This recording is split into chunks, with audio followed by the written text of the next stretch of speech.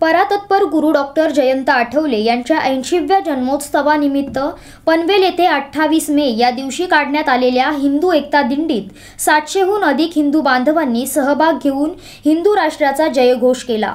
तसेच स्वातंत्र्यवीर सावरकर चौक येथून सुरू झालेल्या हिंदू एकता दिंडीचा आरंभ शंखनाद आणि धर्मध्वजाच्या पूजनाने झाला. या दिंडीतील परातत्पर गुरु डॉक्टर आठवले यांच्या पालखीचे भाविकांनी भावपूर्ण दर्शन घेतले. सनातन संस्थेचे संस्थापक परातत्पर गुरु डॉक्टर आठवले यांच्या जन्मोत्सवानिमित्त हिंदू राष्ट्र जागृती अभियान अंतर्गत हिंदू एकता दिंडीचे आयोजन करण्यात आले होते. या दिंडीला धूत पापेश्वर पासून सुरुवात झाली असून संपूर्ण शहरातून फिरवण्यात आली. या दिंडीमध्ये भाजपचे उत्तर रायगड जिल्हाध्यक्ष आमदार प्रशांत ठाकूर सहभागी झाले होते.